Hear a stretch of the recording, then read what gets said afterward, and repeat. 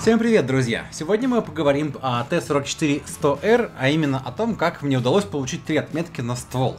Это было очень длительным и интересным, особенно в конце приключением, и я думаю, оно вам понравится. Вообще, лично я испытываю в этом всем те самые эмоции, которые в этой игре как бы для меня уже давным-давно исчезли. Я уже не трепещу от новых веток, не пищу от выкачивания очередного танка или очередного према, которым удалось управлять. Все это уже не возбуждает так, как раньше, потому что, ну, типа, чего там интересного?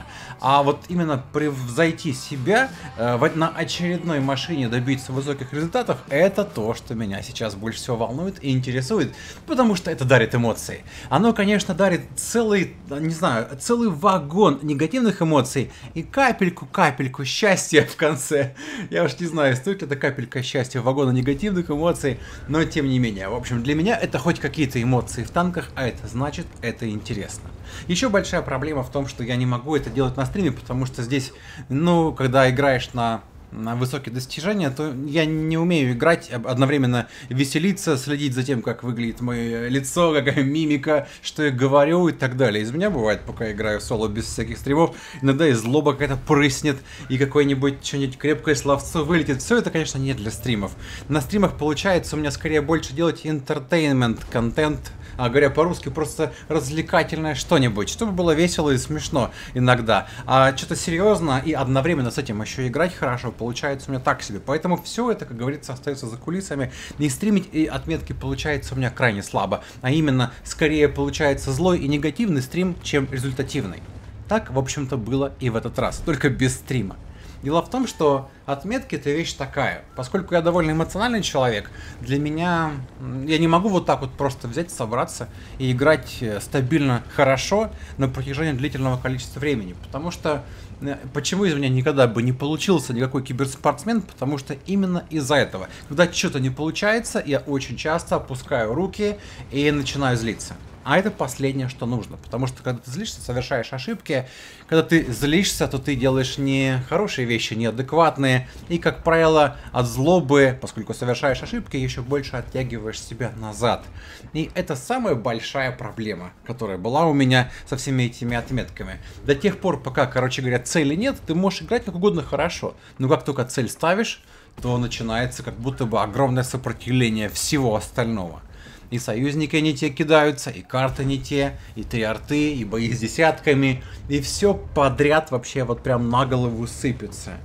И я, в общем, наверное, в очередной, это не первый заход, когда я начинаю там примерно с 92%, не первая ночь, так скажем, которая начинается с этого. Вроде бы не самого сложного этапа, 92, что там, один хороший бой, уже 93%, 94, и 95% уже счастливый, мы получаем отметочки, и уже можно, как говорится, идти гулять, но заканчивается вся история обычно тем, что ты попадаешь в серию из боев, где невозможно настрелять в серию провальных турбосливных боев или в серию боев на коридорных картах против десятых уровней, где каждый из этих десятых уровней занял какую-нибудь свою точку, и ты не можешь нормально быть и подамажиться, постреляться так, чтобы вот, ну, надамажить, не умерев при этом, естественно. И как только заканчивается вся эта эпопея с отметками, цели особо уже играть высоко нету. Ну вот, например, чтобы сделать картинку для этого видео, я поехал еще бой сыграл, выпала карта степи, отлично, танк поскринил, но заодно и 5000 настрелял и полторы посветил. Чтобы вы понимали, для восьмого уровня, для Т-44-100 это, это очень круто. И, ну это просто было уже без цели, пофиг уже. Ну чуть ли не зевая, потому что ну вот уже иначе не получается. Но когда дело касается того, что надо. Когда дело касается того, что нельзя плохо, потому что каждый бой плохо делает необходимым сыграть два боя хорошо, а это время, а это очередные нервы, а когда ты должен сыграть два боя хороших, а если ты сыграл опять два боя, но плохих, это вообще еще дальше вниз ну и так далее. Короче, эмоций было у меня просто э, сойдешь с ума. Ну и в общем, как это было фактически, потому что именно это, наверное, самое интересное. Ну, типа, настрелял и стрелял, кому какая разница. А вот то, как это было, это прикольно. Итак, в общем, первый бой, который мы сейчас смотрим, это карта Берлин. Здесь я вообще принимаю решение не ехать на СТ-шное направление, скажем, на JK туда, горизонтали, а поехать именно в город, мочить тяжей. В конце концов, тяжи-то восьмого уровня, их можно еще куда-нибудь пробивать. И в целом у меня здесь удается. Единственная проблема, вот сверху справа от центра счетчик отметки, на него не смотрите. Это видео записано не с игры, а с реплея. А там что-то модик заглючил, и он показывает неправильно это все считает. По каким-то там своим, не знаю, по каким причинам он считает неправильно, бог с ним. В игре, главное, считает более-менее верно. Более-менее, об этом чуть позже. И э, это просто бой перед тем, когда оно случилось. Это время на часах э, примерно 7 утра. В конце боя там будет время начала этого боя. В итогах написано, обратите внимание, это то, когда, а я, чтобы вы понимали, сел, наверное, где-то часа в 3. Для себя открыл такой простой лайфхак, что мне не получается стабильно высоко играть в обычное время, когда играют все. Это вечером или ранней ночью. Тогда играют все, и играет, как правило, ну, нестабильно, так скажу. Нестабильно означает, что нет никакой логики часто. Иногда э, противникам необходимо срочно выиграть за 3 минуты, хотя в этом никакого смысла, чести интереса нету. Но очень много играющих, им вот, о, нас, нас кучка собралась, поехали в атаку, все быстренько побеждаем. Так часто бывает, побеждаем, проигрываем. Во всех этих боях, в коротких, много настрелять обычно не получается. Ну, а часто так, и, и других, короче, полным-полно случаев. В общем, для себя я вывел, что в последнее время наиболее стабильно и, скажем, сонно люди играют э, уже ранним утром или супер-мега поздней ночью. Поэтому я сажусь в 3 и до утра, до рассвета пытаюсь, пытаюсь. Почему? Что происходит тогда? Фиг его знает. Игроки играют сонно и, как правило, играют соло. Нет ни одного взводного игрока. Кто же ночью-то играет с кем взводом? И получается, что у нас был такой вот хороший бой. Здесь отметка на счетчике показывает 95,7, а по идее она получилась где-то что-то типа около 94 с копейками. То есть после этого боя, если я сыграю еще один подобный или лучше, что лучше, то отметочка у нас будет. И наконец загружается карта Монастырь. А этот бой я уже записываю прямо во время игры. То есть здесь все счетчики сверху, они как раз есть правильные. Почему сейчас показывает 93? Ну это типа модик показывает, что если я сейчас умру с нулем, то отметка будет вот такой. А чтобы она осталась э, на том же уровне, на котором я бой начал, она должна сравняться с той циферкой, которая написана справа от этих красных процентов низа, снизу. То есть 2900 это моя планка суммарки, которую нужно нанести в бою, чтобы отметка не упала. Ну а чтобы она возросла, нужно сделать, конечно же, больше. Еще раз, это бой, когда, наверное, уже 7.20 утра, 7.30, то есть я, признаться, обычно в 6 уже сплю, а тут решил задержаться. И надо ли говорить, что я здесь э, максимально сонный, уставший и уже лыка не вижу. Но мужик сказал, как говорит сам себе, мужик должен доделывать. Я сижу, доделываю, уже ничего не соображаю. Обычно такого на стримах не видите вы, но в этот момент рассвет. И этот рассвет мне светит прямо на монитор. У меня весь компьютер, пол экрана практически не отсвечивает, ничего не видно. Я не вижу ни мини-карту, я не вижу ни команду противника в ушах, потому что цель одна. Цель одна. Все, нет, ну как бы, нет шагу назад никакого. Мы не отступаем, просто ломимся вперед. И загружается карта монастырь, где я вижу наличие двух ЛТшек в команде, которые решают поехать, собственно, на восьмую. Ну а раз они поехали светить, то я поехал стрелять, и кое-как тут что-то получается. Здесь наезжаю на имбу.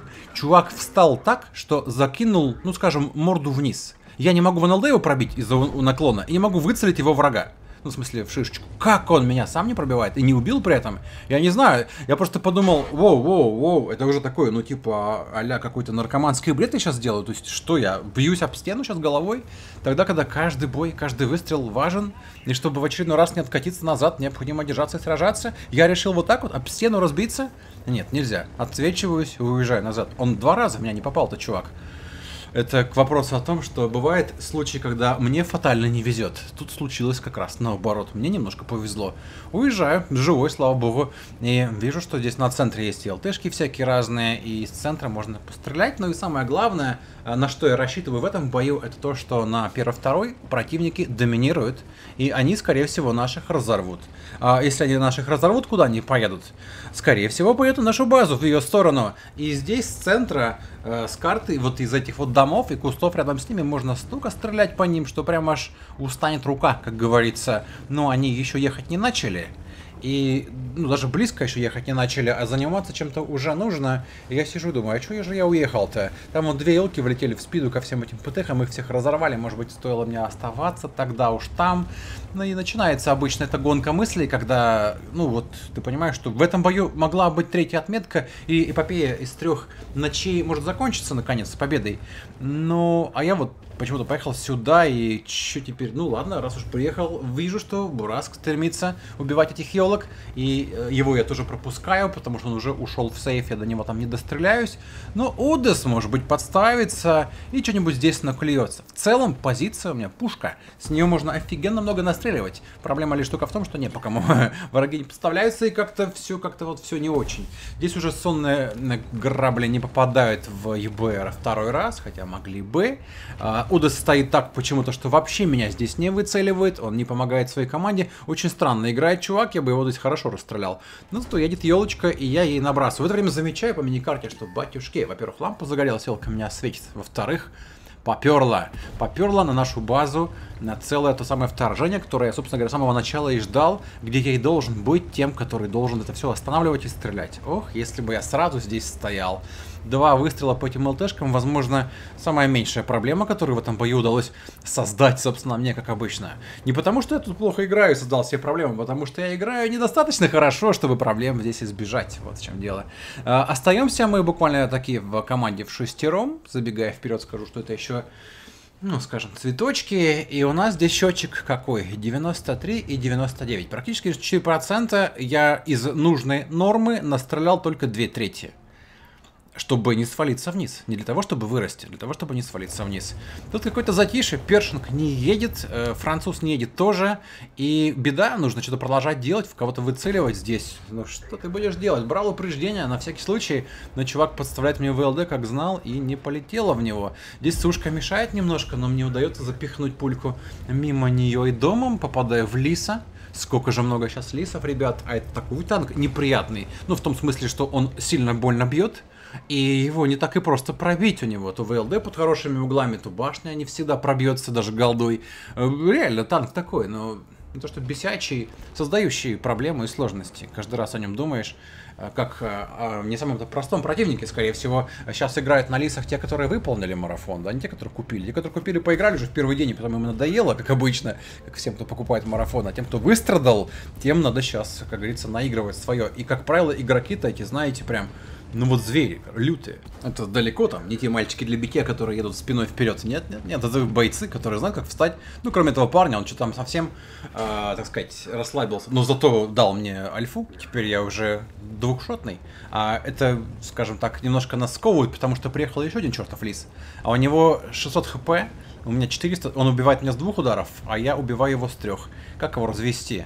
Э, сложно, потому что его, во-первых, не так и просто выцелить, не так и просто пробить, но союзник ему вломил. Кстати, то, что он сейчас сделал, союзник э, вломил ему хорошечно, это пошло мне в копилку, потому что я, оказывается, этого парня светил, и этим выстрелом я выхожу в положительную динамику по отметке. Сейчас уже счетчик 94 и 41, сверху видите. Ну и что делать? Э, сверху приехал на монастырь, собственно, вкусный тяжик, забегая вперед, он приедет не один, и э, ну, нужен ли мне ваншотный какой-то хрен на лисе.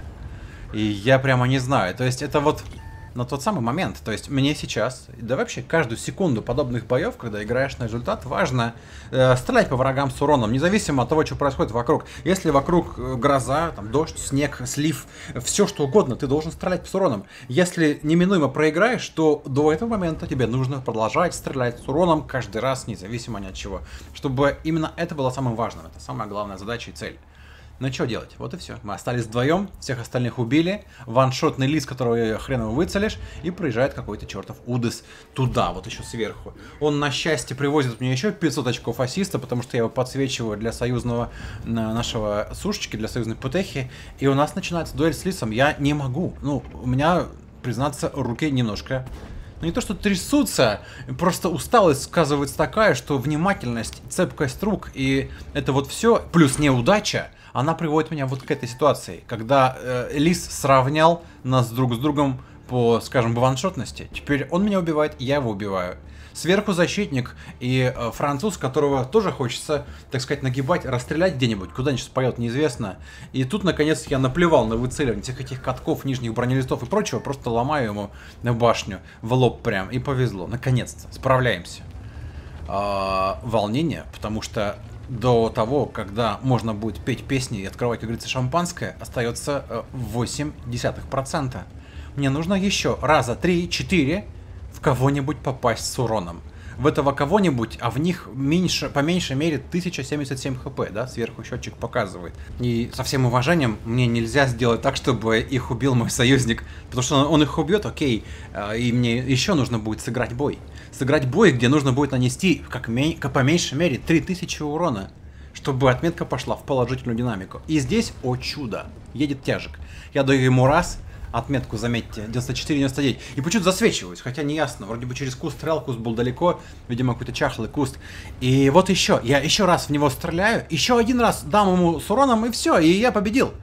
Но здесь я выезжаю так, что подсвечиваюсь, видимо, сквозь куст или что-то типа того, и я не понял, что, и он меня убивает. А может быть он просто проблайндил куст, или ну, я не знаю, может быть я светился, я уже, понимаете, это было 7 утра, я уже ничего не соображал, просто хотел уже попасть с уроном, и мне было пофиг на все проблемы, которые могли бы возникнуть. И что делать нахрен? 94 и 99. Мне не хватило одного выстрела.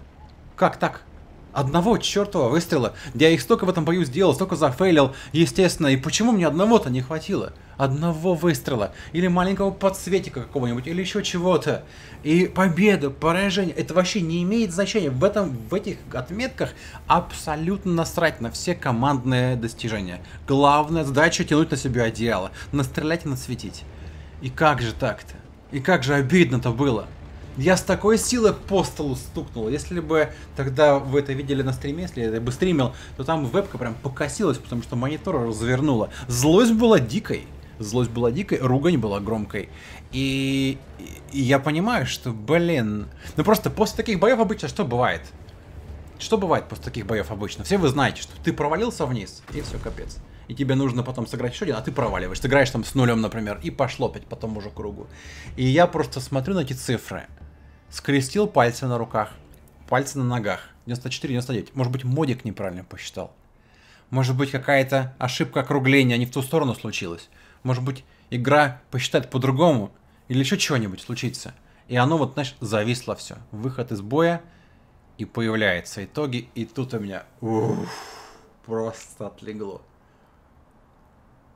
Это прям вот... Это маленькая, маленькая-маленькая доза счастья которая вот для меня сейчас по эмоциям, наверное, шкалит больше всего. Хотя, да, это было 7 часов 21 минута утра.